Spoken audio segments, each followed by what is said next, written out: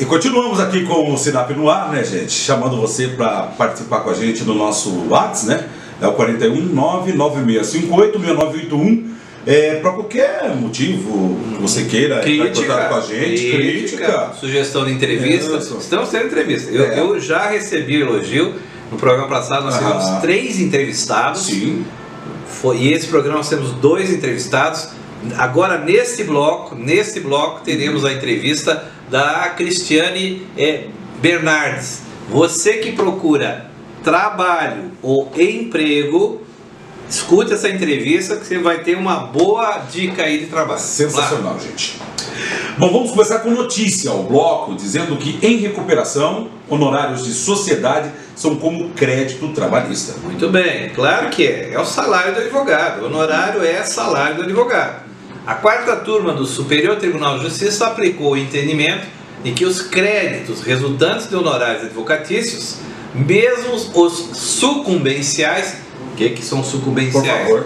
O juiz faz a condenação numa sentença, julgo procedente a sentença e tudo mais. Condena a parte que perdeu a pagamento de honorário de X%. Esses honorários são chamados sucumbência. Né? Esses honorários sucumbenciais que advindo da condenação da sentença do juiz.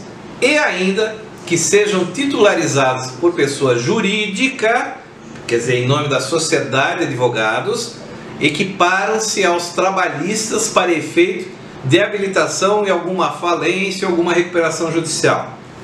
Ou seja, traduzindo, a- o crédito alimentar do advogado pessoa física é a mesma coisa para a jurídica da sua entidade de advogado. Mesmo porque a entidade de advogado só pode ser composta por advogados. Não pode ter contador, É, não pode ter outra, É. só tem advogados. Um, dois, três, quantos advogados tiverem.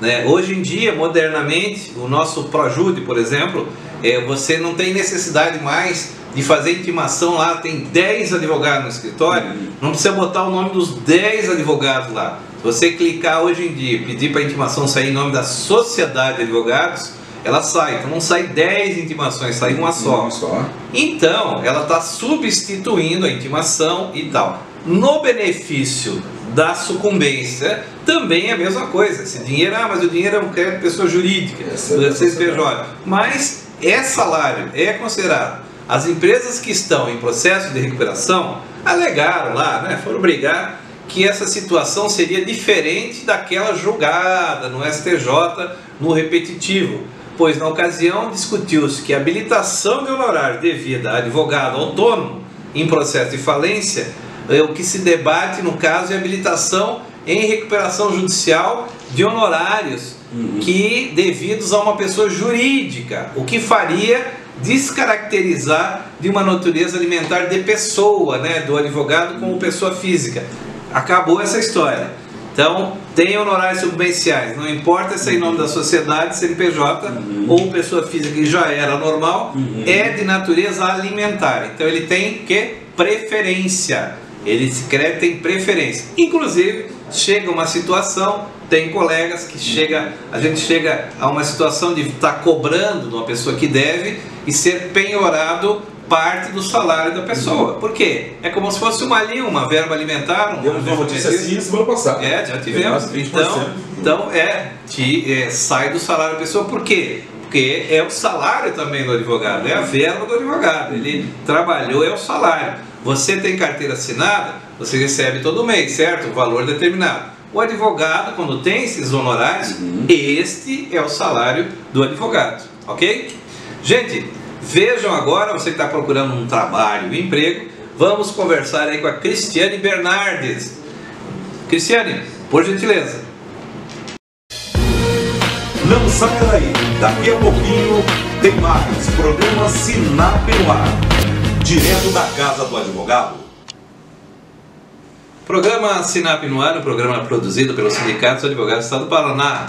Hoje com a ilustre presença Cristiane Bernardes, temos assuntos aqui muito interessantes, temos uma situação de lapidando eh, talentos, né? ela vai explicar como é que funciona, e uma, uma grande empresa maravilhosa, iniciativa sensacional, que é a motorista de aplicativo que só leva mulher. É mulher transitando com mulher. Veja, muito interessante. Você, mulher, vai gostar de saber. Umas, porque terão uma opção de trabalho, uma nova opção de trabalho.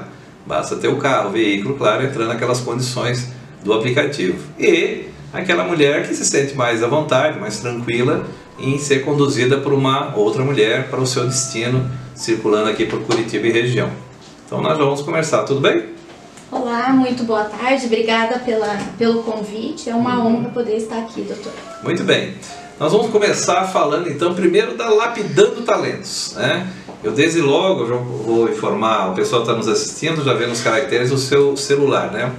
Mas eu vou repetir algumas vezes porque o nosso programa também vai ao ar pelo rádio, né? Então o som vai pelo rádio, o pessoal, claro, não tem caractere, né? Então Sim. tem que acompanhar. Então você anote aí o, o, o celular 99789 3305. Esse é o número, nós vamos repetir mais algumas vezes, o pessoal já está vendo os caracteres, né? E, lapidando talentos. Aqui, como é que essa empresa, o que, que você está gerindo, o que, que você busca, para que ela, qual a atuação dela? A nossa, a nossa atuação é realmente lapidar talentos, Uhum. porque hoje as empresas estão carentes de grandes profissionais. Sim. Temos a oportunidade, mas não temos os profissionais. Aham. Por que, que não temos e por que, que as vagas não fecham? Porque precisa toda uma preparação antes, colocar o profissional no lugar e na hora certa. Claro. Para isso não é somente mais um profissional. Sim. O que eu quero daquele profissional? Uhum. Qual mapeamento eu preciso saber para eh, preencher essa oportunidade, essa vaga? Hoje em dia falam bem assim, ah, por exemplo, uma vaga de vendedor. Precisa ter o quê? Uma boa dicção, precisa ter carinho com o cliente e empatia. Não é só isso. Tá. Você precisa ter um conteúdo completo para realmente fechar essa vaga. Vamos traduzir então o pessoal que está nos assistindo aqui e nos ouvindo também. A Cristiane, então vamos lá, ela tem um celular, a pessoa vai ligar 99789 3305. Então vamos lá, o primeiro lado, lado do empresário. Então estou procurando um profissional, então ele caracteriza, ele dá as características do que ele procura. Que exatamente, que seria um levantamento de perfil. Certo. Normalmente as empresas, eu falo por experiência, tem preguiça de fazer o levantamento do perfil. Então, Por que, que tem preguiça? Porque levantamento do perfil, o próprio nome já fala, você tem que colocar todas as informações. claro. E para colocar todas as informações leva o quê? Leva tempo, precisa Ah. paciência. E no mundo Ah, mas que o, nós mas o estamos. pessoal do RH, do departamento pessoal, não, não tem isso já mais ou menos mapeado? Faixa etária, formação acadêmica ou só de profissional, é, as referências, especialidade do que ele vai trabalhar. Não é só isso? Não está tá pronto já essa, essa, essa Aí que situação? eu fa- volto a falar, Aham. não é o copia e cola. Ah, tá. Aí que grandes pessoas, grandes empresas erram. Não é o copia e cola. Tá. O copia e cola já não dá mais certo. Hum, Não é receitinha de bolo. entendi. O que mais eu posso realmente verificar naquele profissional? E outra coisa, nós estamos falando aqui para audiência, Uhum. clientes pequenos, médio e grande porte. Ah, tá. Grande porte tem toda uma estrutura. Sim. E para o pequeno, Não que tem. precisa de um profissional Não e tem. ele não tem condições de ter uma É, gestora às, vezes, às vezes você não vai tratar nem com RH nem departamento pessoal, às vezes é tão é pequeno, ele. Uhum. vai tratar com o proprietário da empresa, o sócio que, que dirige a empresa, né? E- E ele que vai traçar esse, esse perfil, né? E normalmente os- o dono da empresa, o sócio, ele Uhum. não tem uma experiência. Ele quer o quê? Preencher a vaga, porque a linha de produção dele está parada e precisa daquele profissional. Ou um auxiliar de produção, ou um vendedor para vender o produto. Então ele não tem tempo para estudar esse campo. E digamos assim, isso é expedioso, é caro? Como é que seria o tratamento, o contrato? Como é que a pessoa vai pagar para esse tipo de serviço? Como é que funciona? Depende do perfil da vaga. Ah, entendi. A vaga da linha de produção é um Um valor. valor. Vaga executiva, outro valor. Sim. Porque uma vaga executiva demanda mais tempo. Você não vai conseguir fechar uma vaga. Ah, e temos outro detalhe. Hum. Pede sempre para ontem o profissional. Ah, aquela pressa, né? Aquela pressa. Daí você vai ter o quê? Hoje é quinta-feira, já quer para segunda. Sim. Segunda cedinho já tem que estar na Isso minha quando porta. não for, doutor, para própria sexta-feira, né? o que que acontece daí? É. Eu vou fazer uma contratação na correria. Aham. O profissional, por experiência, vai ficar um mês na empresa É. e ele vai sair. Ou porque não está ali entregando, ou porque o profissional do outro lado, o diretor, gestor, viu que realmente não adquiriu a competência. Cristiane, 99789-3305. Provavelmente você já tem até um banco de dados de, Sim. dessas pessoas. Aí eu quero saber agora o outro lado. Atenção você né, que está procurando um emprego. Olha aí. Está procurando emprego, para colocar uma, uma colocação no mercado, pelo mesmo telefone 99789 3305. Né? Sempre lembrando que nós estamos em Curitiba, o prefixo é 41. Eu sou um profissional, eu não estou trabalhando atualmente. Como é que faz? Pelo mesmo telefone eu apresento o meu currículo, como é que faz? Você tem um banco de dados, como é que funciona?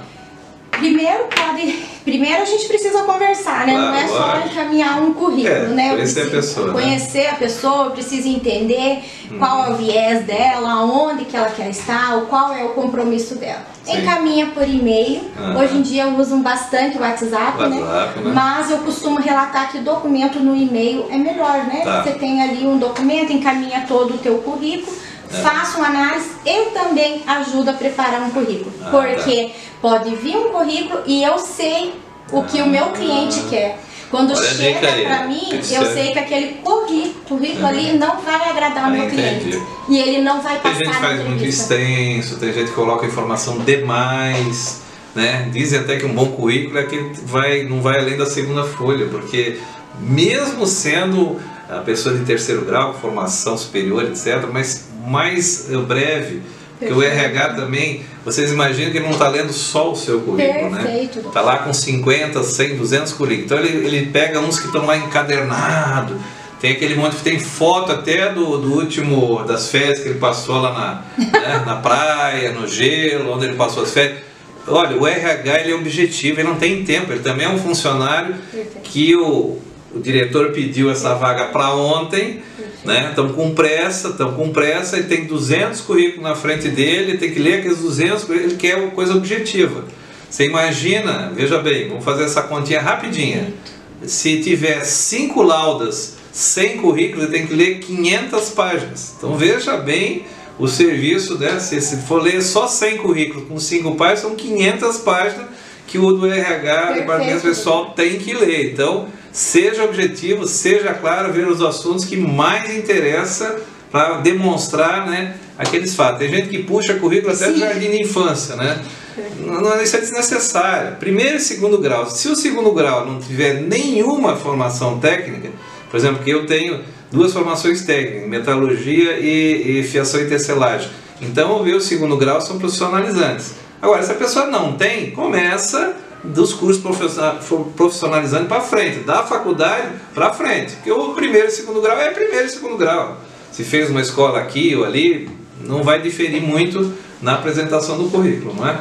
É, e bem colocado, doutor. Tudo que o senhor pontuou aqui, excelente. Só que acontece muito assim: a pessoa está tão ansiosa para conseguir uma oportunidade de emprego que a pessoa pensa o quê? Quanto mais Ah, eu preencher é. o meu currículo, mais atrativo ele será. Aham. E não é. Não é. Porque é bem isso que o senhor colocou. Ele coloca até é, empresas que não tem nada a ver com a oportunidade atual que ele está procurando. é. Excelente colocação. Então é assim, pessoas. A dica não é extenso, não é quantidade, e sim um currículo com qualidade, com informação. Porém, quais informações? Informações de acordo com a oportunidade que você se candidatou. Isso é a dica. Ótimo, Cristiane Bernardes, 99789-3305. Vamos virar uma página falando de trabalho e agora ela vai nos falar da Drivers Mulheres. Drivers de direção em inglês, dirige- quem dirige, driver, é, mulheres. Muito interessante. Quanto tempo existe esse aplicativo? Como é que foi a fundação? Como é, como é que funcionou? Conte um pouco da história desse aplicativo que eu estou achando realmente muito interessante. Então, o aplicativo ele foi fundado por três sócias, Sim. que é a Ana Maria, a Larissa e por Cristiane Bernardes, e sou eu. Uma das sócias. Três mulheres empreendedoras, Ah. mães, que entendem de negócios e que querem fazer acontecer. Muito bem. Então, por ser na área de tecnologia, existe sim um preconceito. Mas nós Não, estamos aqui para realmente quebrar. Quebrar paradigmas, com Exato, certeza. muito Que dá, que, é, quanto tempo essa fundação quando foi? Ela está tomando uma água, né? Tem direito. Enquanto isso eu falo, Cristiane Bernardes, 9 9789 3305. Muito bem. Desde quando existe a Drivers Mulheres? O aplicativo ele vai completar quatro anos. Quatro anos aqui para Curitiba aqui e região. Curitiba e toda a região. Região metropolitana, muito bem. Então veja bem, nós temos também dois lados aqui. Então vamos lá.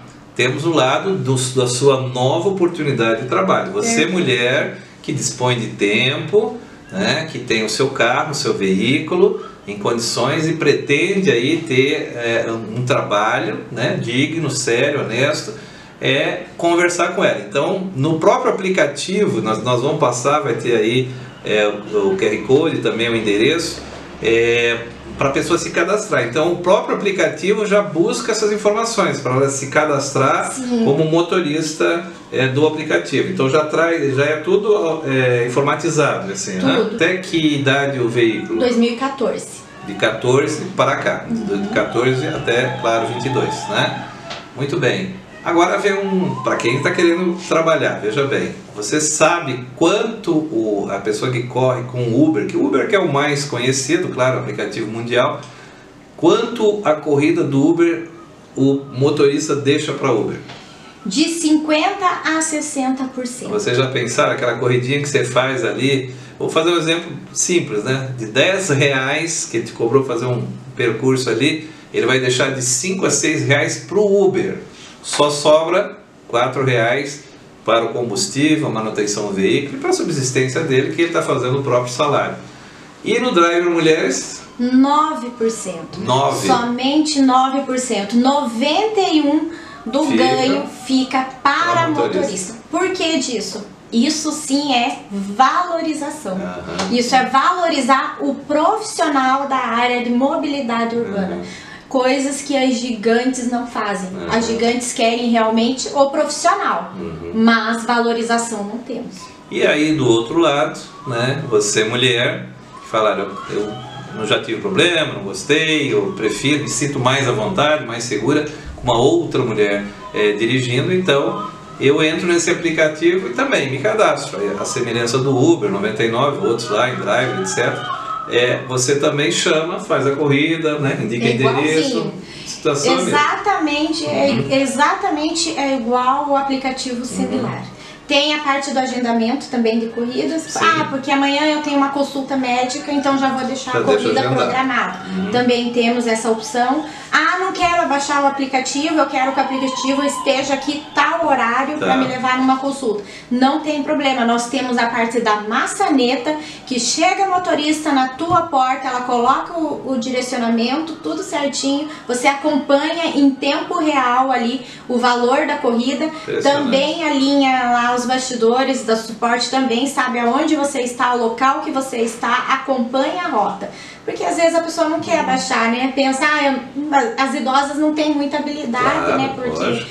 É que minha mãe É. também não, então, ah, não tem problema, não vamos perder negócio, que nem diz, né? Não vamos perder corrida. Cristiane, e, e o preço é com- competitivo da corrida? Então, o preço do- é um pouquinho diferenciado. Aham. Por quê? Precisamos valorizar as nossas É, motoristas claro. parceiras e temos que lembrar também que é um serviço personalizado. Personalizado, então gente. não é um serviço Aham. comum, é algo realmente pensado, direcionado para cada mulher. Interessante. 99789-3305. Estamos aqui em Curitiba, código é 41 mais para esse serviço, exatamente sem prefixo, porque é o pessoal aqui de Curitiba mesmo. 99789-3305. Achei sensacional, realmente valoriza a mulher e protege a mulher. Quer dizer, valoriza no serviço, né? Porque também tem o outro lado também, né? A, a mulher eh, transportando uma outra mulher também ela se sente um tanto mais seguro, segura do que, é claro, levar, levar um passageiro homem ou mais de um que estão lá no carro, etc. Né? Então, tudo assim se encaixa eh, bem melhor, né? É, é segurança para ambos os lados, É. tanto da motorista quanto da passageira. Mas nós também estamos expandindo Ah, é? lá para Ponta Grossa também, já chegamos claro. lá em Ponta Olha Grossa. só. Nós estamos já Já começamos lá. Olha, claro, isso deve expandir os grandes centros, deve ter uma, uma procura, haverá uma, naturalmente uma procura grande desse tipo de serviço mais personalizado e mais destinado à mulher. achei muito interessante, recomendo, né? Vocês vão ver as informações aí é, é, na tela e também é, basta ligar 9, é, 9789 3305. Olha, agradeço muito a sua presença, foi muito interessante. Nós queremos divulgar, nós vamos divulgar mais de uma vez é, essa entrevista. Queremos dar total apoio para esses dois empreendimentos. Lapidando Talentos é um trabalho interessante, colocação de emprego de pessoas e drivers mulheres é, é um novo aplicativo para que. Novo já não, né? Quatro anos, mas assim, vamos divulgar o máximo para que seja realmente tenha a sua continuidade, tenha crescimento. E atualmente temos em quanto, quantas profissionais na 580. 580 hoje aqui em Curitiba, né? Hoje Quer dizer, tem espaço, né? Tem bastante espaço é. e muito bem colocado, doutor. Nós precisamos de divulgação, né? Isso. né? Porque pode não parecer, mas sempre tem uma vizinha, uma colega, uhum. é, mulheres que, que trabalham em hospitais noturno, é, tem a parte dos finais de semanas que as adolescentes é. precisam ir por um barzinho, por uma balada, e as mães é. entram em contato conosco, então é, é bem isso mesmo, uhum. tem que ser bastante trabalhada a divulgação.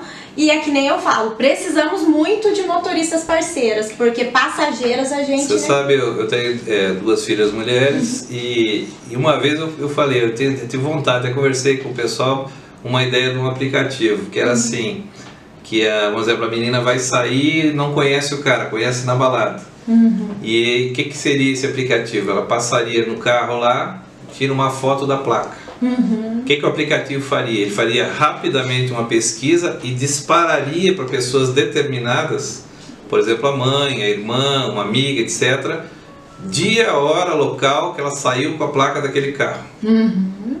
No nosso aplicativo a gente tem toda essa rota. É. Uhum. é, é um exemplo, fez lá a solicitação da corrida, tem tudo isso. Uhum todo o mapa nós sabemos o horário que ela solicitou a corrida, a rota que ela fez, hum. aonde ela parou, porque tem os adicionais de corrida, claro.